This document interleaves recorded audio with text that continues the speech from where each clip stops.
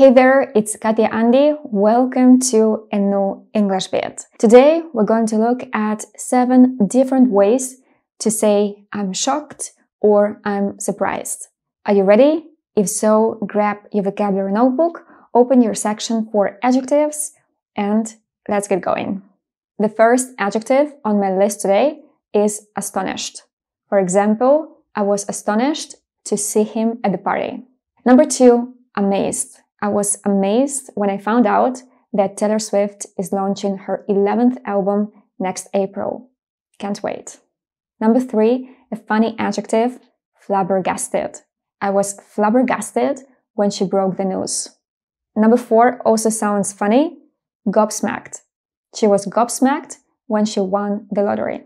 The fifth adjective, stunned. One sample sentence, I was stunned when I saw the price tag. We can also say to be taken aback. For example, I was taken aback by his indiscreet question. And last but not least, to have or to need a lie down.